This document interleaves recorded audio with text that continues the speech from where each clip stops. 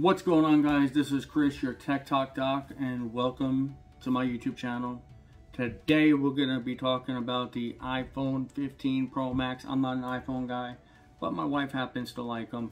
But whenever they don't work for her, guess who gets called to fix them? It's me. I'm a Samsung guy.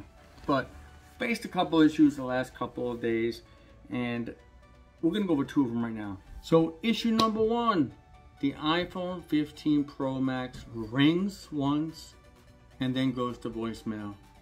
Frustrating as can be, and she didn't know what it could be, the problem. So I took it on and I said, let's go check out some of the settings and see what we could be doing wrong.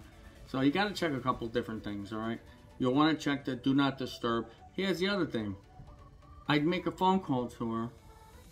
It would automatically go to voicemail after the first ring. But if I call right back, it would ring for her. So here's what you got to do.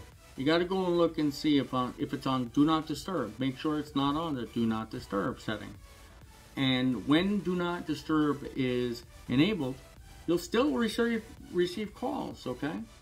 Yeah, so the iPhone 15 Pro Max might ring once and go to voicemail for a number of reasons. And here are some of the reasons. You may have the Do Not Disturb on, and when the Do Not Disturb is enabled, you'll still receive calls, but your phone won't ring or light up, and that's a problem. Because you won't hear it, you won't see it, alright? You can turn off the Do Not Disturb by doing the following. You can open the control panel by swiping down from the top of your home screen, tapping the focus button, which has a crescent moon icon. Now, the focus mode can often send calls directly to voicemail. You can verify that all focus settings are disabled by going to settings, focus. Also the blocked phone numbers. You can check for blocked phone numbers by going to settings, phone, and block contacts. See if that number is blocked. So before you do anything, let's first look at these things, all right, to determine exactly what it is that is making that iPhone Pro 15 Max ring once, go to voicemail. In my wife's case, it was a do not disturb, which was a simple fix.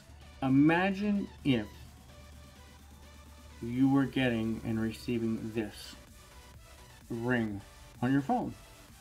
You wouldn't be able to hear it. So it would basically go from normal volume and it will go down, down, down, down, down, just like this.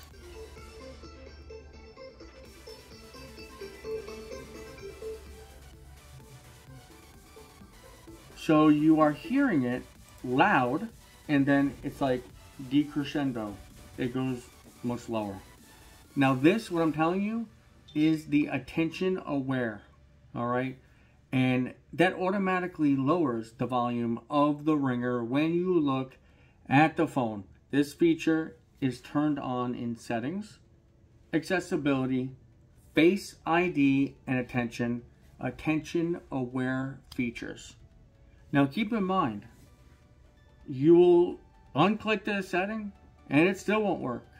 So make sure you restart your telephone in order to make sure that this thing takes effect and it works and that you have a normal ring that sounds like this.